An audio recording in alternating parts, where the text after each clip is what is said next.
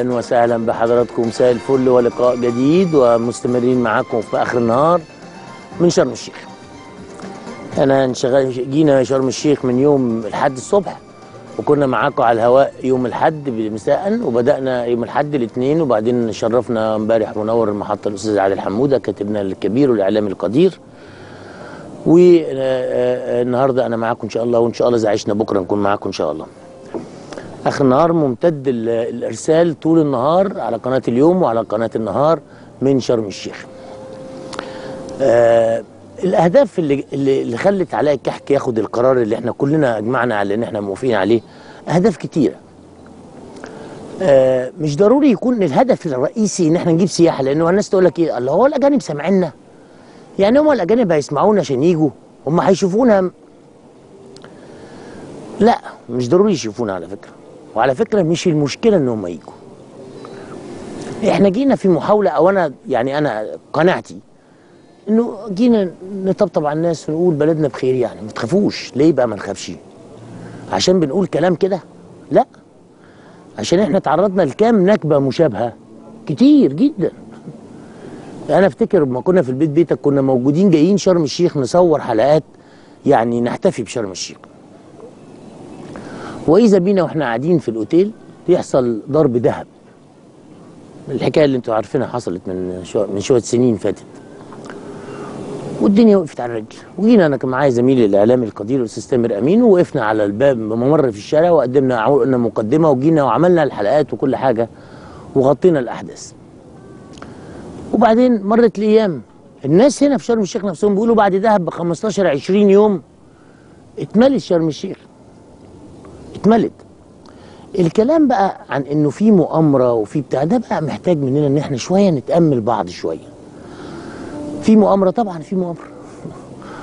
طب ما هو كل الدول عليها مؤامرات على فكرة مش إحنا بس. آه بس المؤامرة يعني مثلا دلوقتي واحد مثلا حرامي جاي يتأمر عليا وجاي فرحت أنا سايب له باب البيت مفتوح وبتاع يبقى أنا عندي مشكلة. مش ضروري يبقى عندك مشكلة على فكرة مش ضروري يبقى عندك مشكلة وفي متآمر. آه في متآمرين طول الوقت على فكرة تاريخ مصر وتاريخ العالم مؤامرات.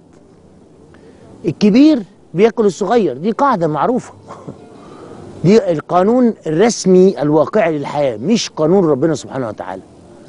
ربنا ما عندوش قوانين بالشكل ده ابدا في أي دين من الديانات ابدا. إنما قوانين البشر اللي عملوها لنفسهم ودمروا بيها نفسهم هي دي. إن الكبير بياكل الصغير والتخين ياكل الرفيع والطويل ياكل القصير وهكذا هكذا الحياة. فتقوم أنت تعمل إيه؟ قوم القرآن يقول لك اعمل إيه؟ المؤمن الإيه؟ خير من إيه؟ ده سيدنا محمد عليه الصلاة والسلام. طب وإيه؟ وأعدوا لهم إيه؟ ما استطعتم من إيمان؟ لا.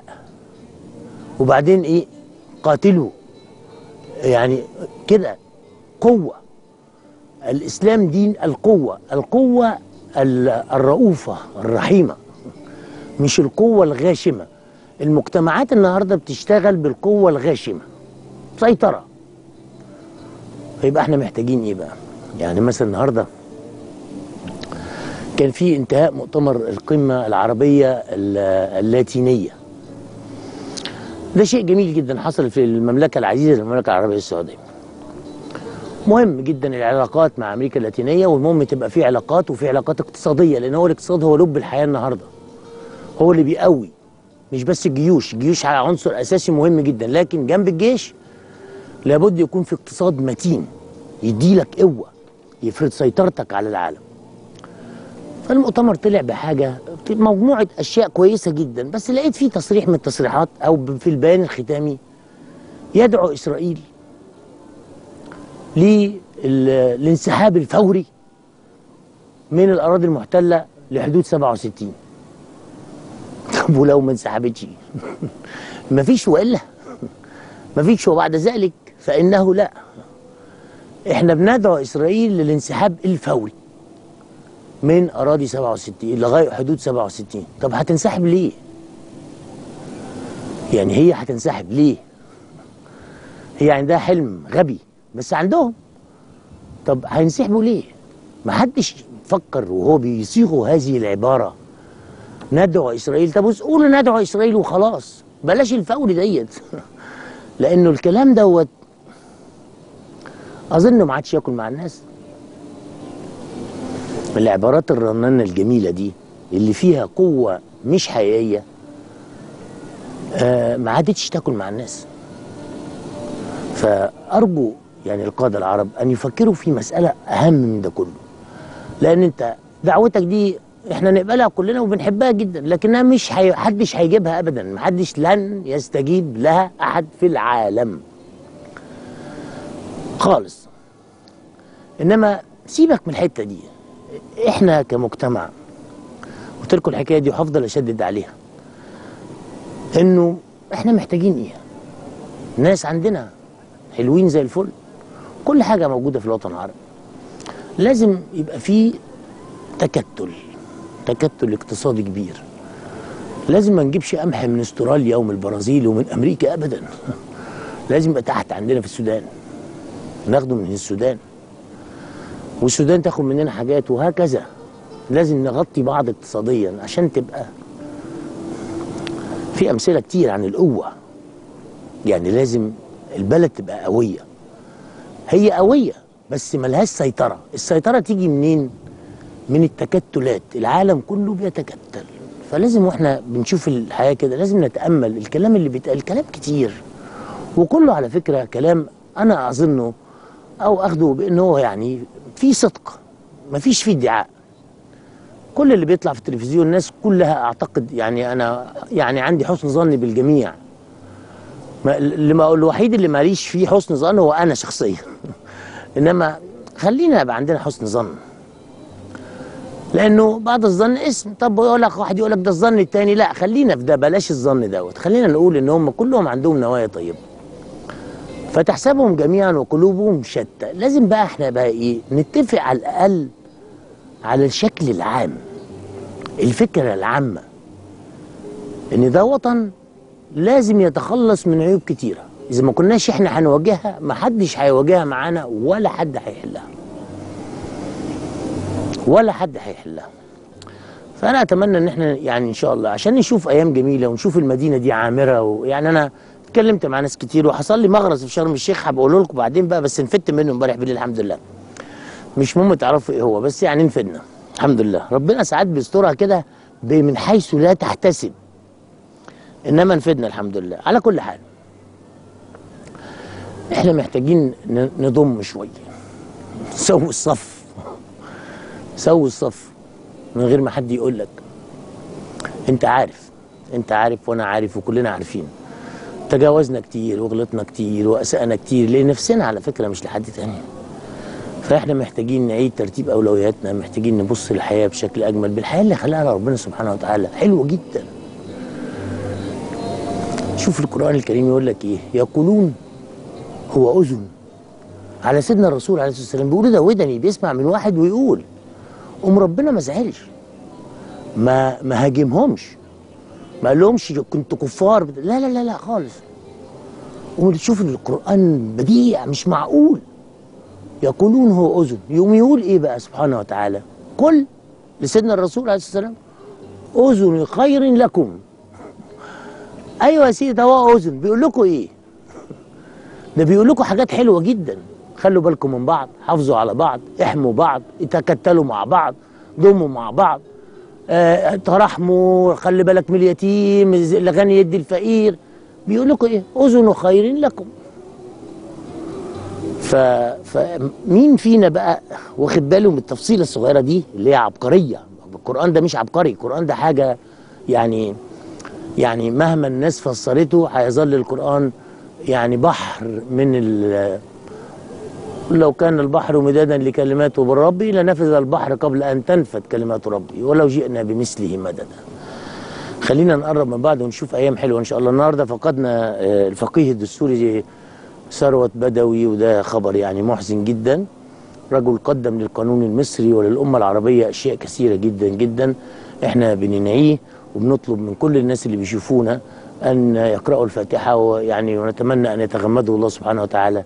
يعني برحمة كبيرة واسعة مثلما قدم لنا في الحياة من آه، أشياء قانونية عظيمة جدا جدا. في تونس بقى إيه بقى؟ في إبريل اللي فات نزل في, في اليوتيوب مجموعة أو 14 أو 16 فنان تونسي منهم ناس كبار ومنهم فنانين شبان مش هقول أسماء عشان ما بقاش بخص حد عن حد. لكن اللي حصل إن الفنانين المصريين قاموا بالدور بتاعهم. إن هم عملوا دعاية إن الناس تروح تونس. فراحوا الفنانين التوانسة عاملين دعاية إن مصر إن الت... إن الناس تروح مصر. وده اتذاع في إبريل وقامت بي... قامت بدور كبير فيه جدا آه، الصديقة العزيزة الفنانة الجميلة هند صبري. وراحوا عاملين فيلم جميل جدا أخرجه علي بن جمعة مخرج التونسي الكبير. وزعوه. بعدين رجعوا بقى يذيعوه دلوقتي تاني. فأنا عايز افرجه لكم عشان تعرفوا إنه يعني إن إحنا كده لما بنضم بتبقى الحياة حلوة. تعالوا نشوف. البحر بيضحك ليه؟ وأنا نازلة اتدلع امنه الأولى. مصر. مصر. الإسكندرية أسوان. بورسعيد. مصر. مصر القاهرة. صلينا الفجر فين صلينا في الحسين. دمنهور. الجيزة. دمياط. وبنادي عالصايدي وابن أخوك البورسعيدي والشباب الإسكندراني لما دي لمة رجال السويس. القاهرة. مدينة تحرير. وأنا هاجي مع السوهاجي والقناوي والسيناوي والمحلاوي اللي مية مية والنوبة الجمال دمنهور إسماعيلية. شرم الشيخ. صرخة مغني الحي من جوف العدم. أسوان. الأقصر. كلها مصر. بوسة. للبسبوسة بحر غضبان ما بيضحكش. اصل الحكاية ما تضحكش سينا سينا سينا سينا سينا سينا سينا سينا سينا سينا سينا عمرنا ما نسينا سينا سينا سينا مرنا من سينا كما حسيتوا علينا حسينا مصر وتونس بلد واحد شعب واحد مش اثنين مصر تاريخ سياحة كرم فن مصر أم كلثوم. كرم. أم مصر. تاريخ مصر الفن. الشعب المضياف زوروا مصر. زوروا مصر. نتقابلوا في مصر. زوروا مصر. نورونا في مصر. نتقابلوا في مصر. زوروا مصر. زوروا مصر. نتقابلوا في مصر. نتقابلوا في مصر. زوروا مصر. زوروا مصر. نتقابلوا في مصر. نتقابلوا في مصر. نتقابلوا في مصر. نتقابلوا في مصر. زوروا مصر. بلادي بلادي بلادي لك حبي وفؤادي. بيرم التونسي.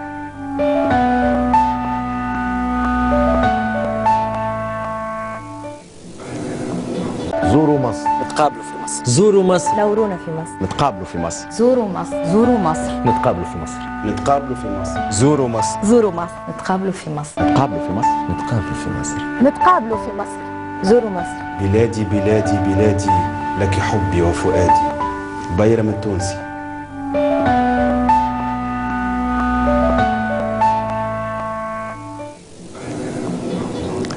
طبعا المفروض إن أنا أقول بقى شكرا للفنانين التوانسة. لا طبعا.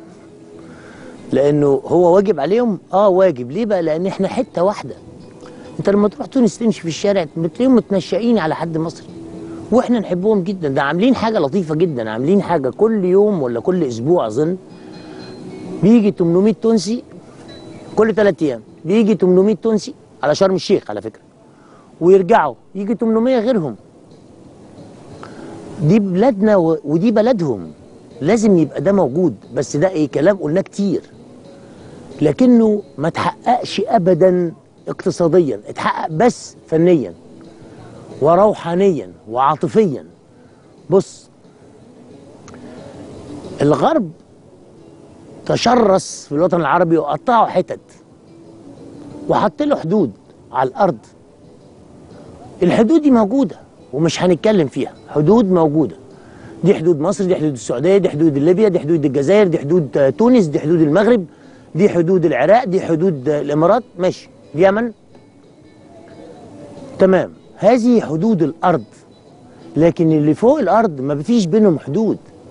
ما فيش حدود روحانية بيننا وبين العرب ابدا. ولا في بيننا حدود اجتماعية ولا في بيننا حدود دينية. فإذا كانوا هم زنقونا في الحدود ماشي طبعا. نقر إن كل دولة ليها حقها كدولة وكرئيس وملك وكل حاجة. لكن إحنا بينا حاجات روحانية وفنية وثقافية واجتماعية واقتصادية كبيرة جدا جدا. ضموا أيها القادة ضموا الناس. الناس مستعدة والله. يحصل موقف لمصري في السعودية يحصل مصري مش عارف إيه. دي خناقات ما بتحصل في مصر. ما تبقاش بلد وبلد. خناقات معلش. المصريين موجودين في كل حتة والكويت موجودين والسعوديين موجودين وكل حاجة. ما نوقفش عند التفاصيل الصغيرة دي. لأنه إحنا متأكدين إن الضمة دي هتفرق معانا كتير. عشان بقى أقول لك إن مصر بتقدر إيه بقى؟ إحنا عندنا أزمة وحكاية الطيارة والدنيا والنهاردة الأخبار بيقول لك الطيارة مش هتقعد آه، آه، مش السنة دي أصلا هيطلع الأخبار نتيجة الت- التحليلات أو التحقيقات أو الحاجات.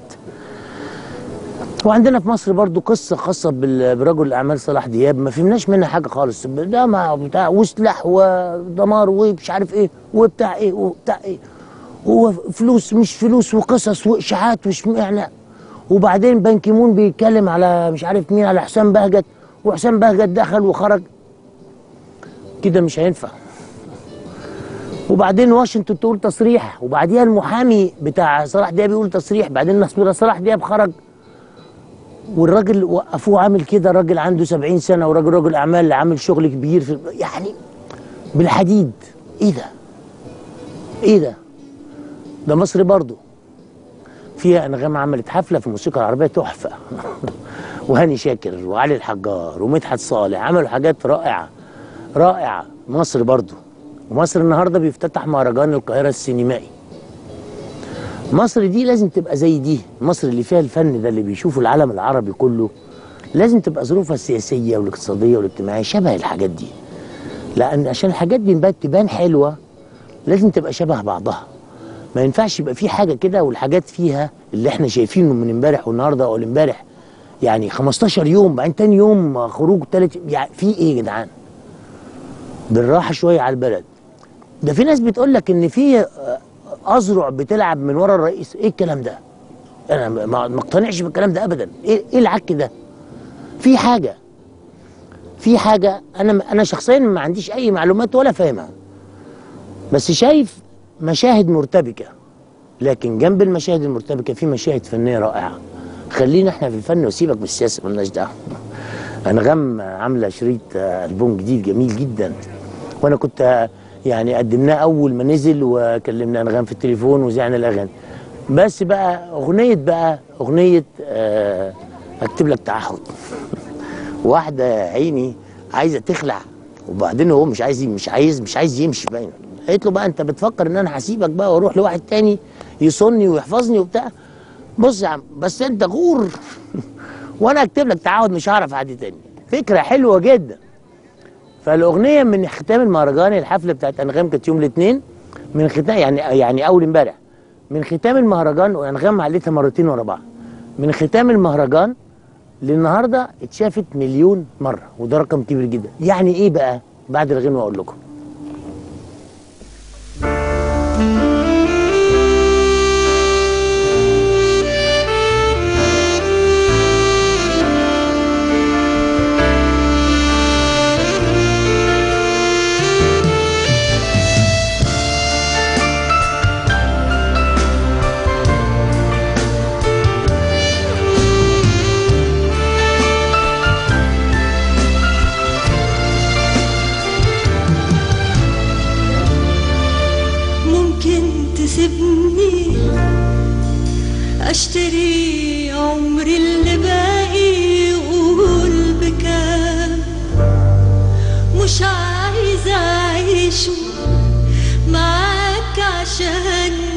عشت كله جراح حرام.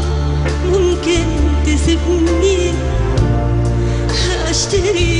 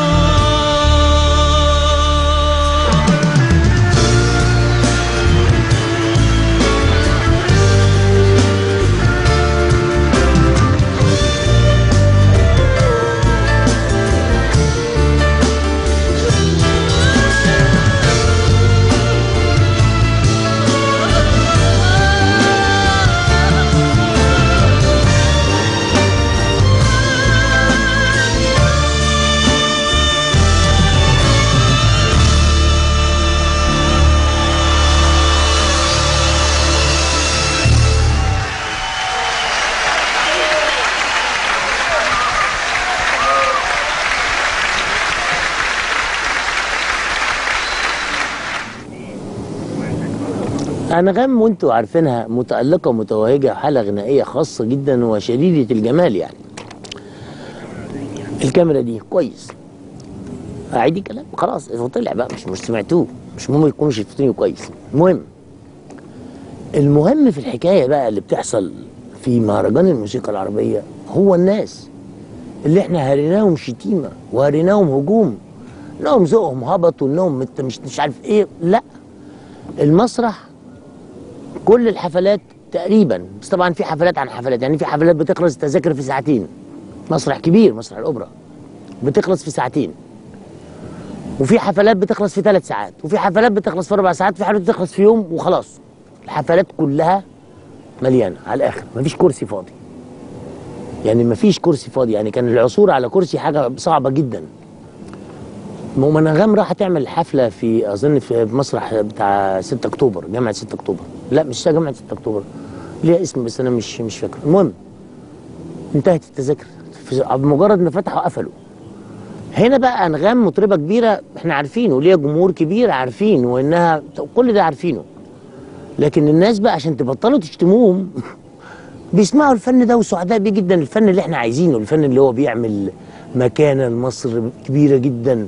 الفن اللي بي- بيوقظ الوجدان وبيعمل حالة الشجن اللي تخلي الناس تعيش في يعني تتذوق الحياة بشكل آه، فيه جمال آه، مختلف. هو ده الفن. والفن اللي بيعمل لك أثر في آخر الدنيا. خلي بالك لما تروح هناك يقول لك فلان وفلان وفلان من القدام بيقولوا من الجداد عدد قليل. إحنا عايزين الجداد يكونوا موجودين أكتر. عايزين مطربين يكونوا موجودين. علي علي الحجار عمل دعوة حلوة جدا. الاربيس ماله. طيب حاضر. بيزعقوا لي جامد قوي مش عارف. بس كبرت في السن بقى. ما هو الكلب لما الأسد قصدي. الأسد لما يعجز. آه ف ف هيعملوا حفلات. أرجو الثقافة الجماهيرية والسيد وزير السياحة آه وزير الثقافة رئيس الوزراء. بلدنا تتملي حفلات. مش بس كده نروح نغني في كل حتة في الوطن العربي. نروح نغني. مش يعني ده مش كلام بس فني ده كلام ليه أبعاد كتير. لازم نروح نغني لأنه في ناس مش عايزيننا نغني على فكرة. في ناس مش عايزيننا نغني وفي ناس ضد نجومنا الكبار وفي ناس بيحاربوهم وفي ناس بتفرض ناس على الذوق العربي العام. ودي حرب يمكن تكون مشروعة لكن لازم ندرك ده. يعني ممكن تكون حرب مشروعة السباق الفني مفيش مانع. إحنا ما بنعملش ده. سايبين أنغام تعمل شريطها على حسابها. وسايبين علي الحجار يعمل حفلات بمجهود. محمد منير يعمل حفلة بما يعني مجهودات شخصية مجهودات فردية. لا لازم يبقى في خطة منظمة. الفن المصري لازم يكون موجود في كل المنطقة وموجود عندنا بكثافة لأن ده هيحل لك مشاكل كتير جدا. يعني يا رب نتأمل الحكاية ديت ونفكر فيها. على فكرة عايز أقول لكم حاجة لطيفة قوي قريتها في في النت قبل ما أجي إن السيد وزير الاوقاف مشكورا الدكتور جمعة قال إيه بقى؟ هيعمل دعوة آه، آه، 100 رحلة آه، لشرم الشيخ من ال- ال- ال- الدعاء الدعاء بتوع وزارة الاوقاف اللي هم أئمة المساجد. كويس. فقوم إيه بقى؟ على طول نقيب الدعاء قال لك لأ. مفيش اختلاط. ما يصحش الاختلاط في حمامات السباحة. قوم رئيس القطاع الديني قال لك لا ممكن بس يلبسوا مايو شرعي. لا خليكم في عرض النبي.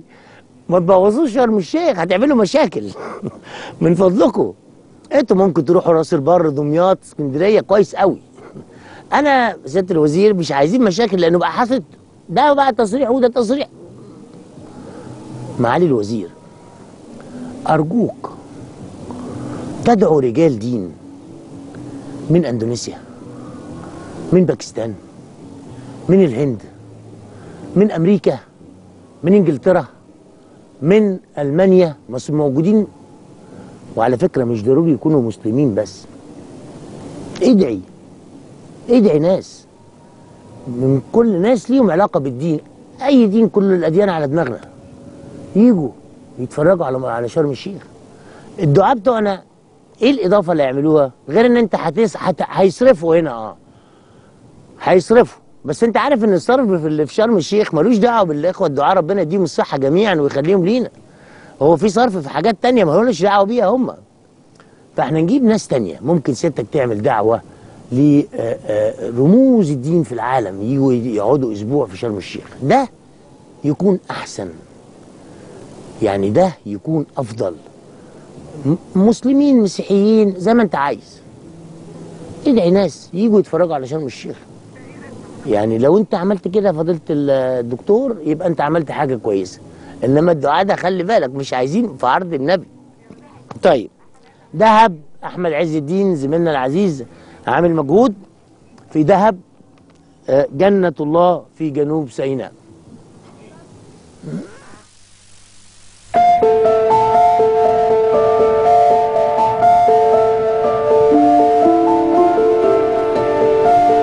مرحب بكم في مدينة دهب جنوب سيناء منطقة دهب السياحية. ماس ده بالجو إحنا عندنا 300 يوم في السنة هواء فمخلي جواها حلو جدا رطب جدا جميل جدا مريح.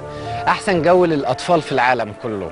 فيها مناطق كتيرة جدا في في الغطس زي Blue Hole Lighthouse ال Coral Island منطقة اللاجونة عموما محمية طبيعية من أجمل المحميات الطبيعية في العالم.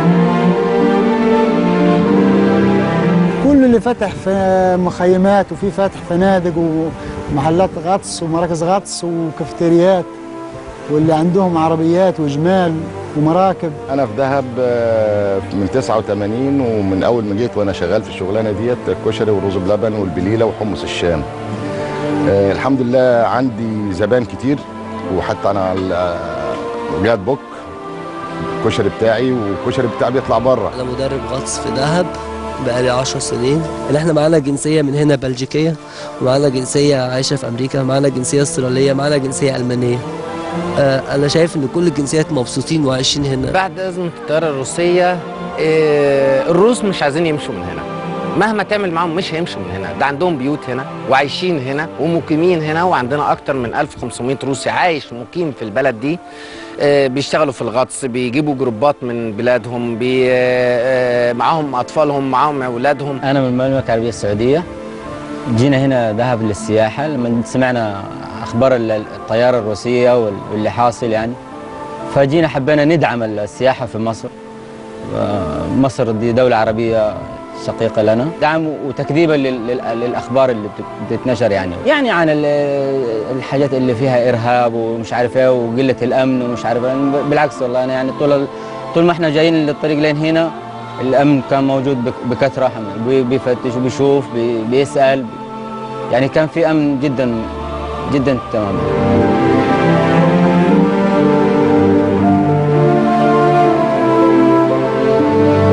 ناس كتيرة موجودة هنا من جميع أنحاء الجمهورية. سايبة بلادها وعايشة هنا في البلد دي بتشتغل وده أكل عيشهم. وإحنا حابين البلد دي في أكل العيش. الدنيا واقعه طبعا وقعت كتير عن آه، وقعت كتير عن الفترة اللي هي عدت. وقعت كتير مثلا بس عمرها ما كانت عمرها ما هتقع زي ما وقعت في آه، بعد تفجيرات دهب مثلا أو بعد حرب الخليج. فإحنا متعودين على الصبر وما عندناش أي مشكلة خالص يعني. ما فيش حد بيمشي مستحيل. ولا بنفكر خالص عمرنا ما فكرنا جت أزمات جت كله ولا فكرنا. أنا شايف إن حل مشكلة السياحة في جمهورية مصر العربية إن المفروض شركة مصر الطيران تطلع منها شركتين ثلاثة يتعملوا شارتر اللي هو الطيران الخاص تتباع في جميع الدول زي بقية الش- شركات الشارتر ما بتبيع التذكرة ب 200 يورو رايح جاي ب 250 يورو رايح جاي. فكده إحنا بنساعد في الأزمة حظر الطيران على مصر. المفروض إن الدولة تخاطب العالم بره آه علشان آه توريهم البلد هنا عاملة إزاي ويجيبوا ناس من بره بدل ما يقعدوا يكلموا في الشعب المصري من هنا.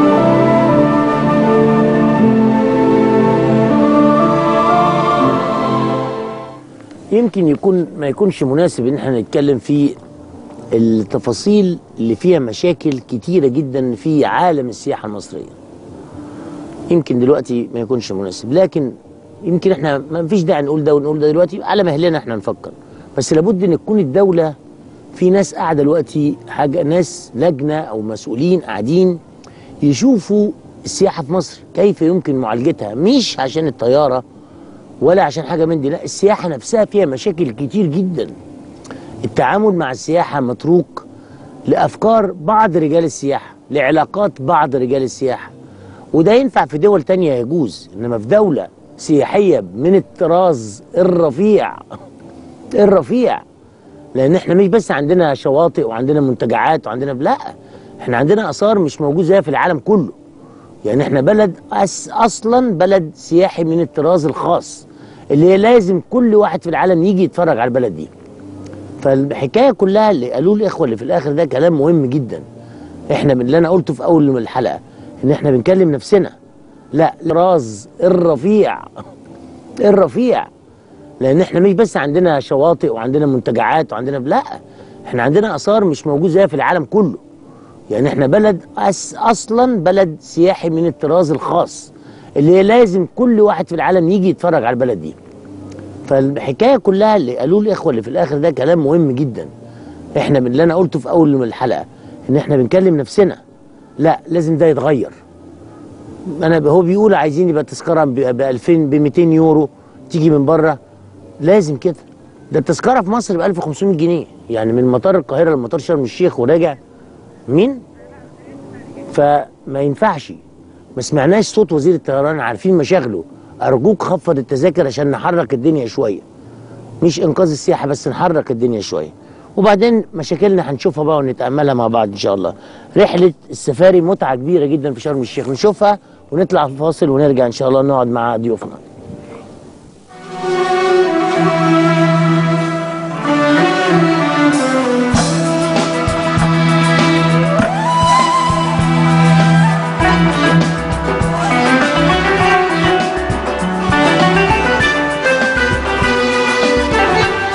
المكان ده مكان بدوي وعاملينه عشان نحافظ على التراث البدوي التراث البدوي الأصيل. بداية السياحة كانت خيم بيوت شعر تمام؟ حبينا نطورها شوية بحيث إن السياحة تزيد وتسترجع ثقتها في نفسها يعني زي ما أنت شايف الخيم.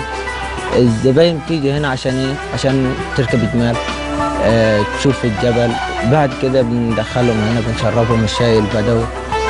بعد كده آه، بنعمل لهم العشاء وفي حفلات عندنا. عندنا رحلات بالجيبات عندنا رحلات بالسان باجي أهمية الرحلات دي بنعمل كده لتطوير السياحة وبنعمل كده لانتشار ال- المعرفة بالحياة البدوية. اسمي شريف مرزوق أصلا مصري عايش في أمريكا. بس قبل ما أنا أمريكاني أنا مصري. أنا جيت مصر عشان أدعم شرم الشيخ ومصر كلها. البدو عيشتهم كلها بالسياحة. السياحة هي فتحة بيوت البدو كلها هنا عامة. ما هي هي الجنوب عامة كلها هي قرى هي شرم الشيخ دهب نويبع طابة كاترين. الزبون بيجينا من بلاد بره ما بنشوف الحاجة زي ديت بنبهر لل- لل- للسياحة عندنا بالذات. كل ده مشغولات بدوية. الناس بتتعب فيها وهي بتعملها. تمام؟ غير كده إن هي بتسترزق بالسد خانة يعني مصروف للبيت آه يساعد نفسه بيه. يعني هم هو ده شغلهم. ده السيستم بيصحوا الصبح اللي عارف نفسه طالع رحلة شروق اللي عارف نفسه عنده رحلة فطار اللي معاه الجمل وعايز يطلع رحلة اللي بيطلع رحلات سفاري. طب وقفت السياحة؟ ما فيش سياحة بتيجي مصر. الناس دي هتاكل منين؟ إحنا بعد الثورة ابتدينا ننهض شوية بالسياحة كنا ماشيين على خطى كويسة جدا. لحد حوالي الشهر اللي فات حصل drop الطيران ابتدينا الميديا بره تغير شكلنا بالكامل. ابتدينا نرجع backward لورا. المفروض إن الدولة آه، تنظم أنظمة جديدة في السياحة. يعني مثلا بدل ما هي كل القنوات تجيب لك مثلا مصر مصر مصر مصر كله بيسمع من مصر داخل مصر هو اللي بيسمع عن مصر. لا إحنا عايزين العالم كله يسمع عن مصر. نحاول نبث نبث مقاطع مصرية خالصة على الميديات الأجنبية في إنجلترا في أمريكا في ألمانيا في النمسا في النرويج في, في كل دول العالم. نحاول نعمل على السوشيال ميديا عشان كل الأوروبيين بالكامل بيدخلوا على ال TripAdvisor بيدخلوا على الفيسبوك. إحنا ممكن الكلام ده يكون علينا cost و غالي جدا بس أكيد في أرباح هتتم علينا ب- ب- بكم أكبر بكتير من الكوست اللي أنا هدفعه. ومصر محتاجة تسوي الكلام ده للدول العالمية عشان نرجع السياحة لمصر.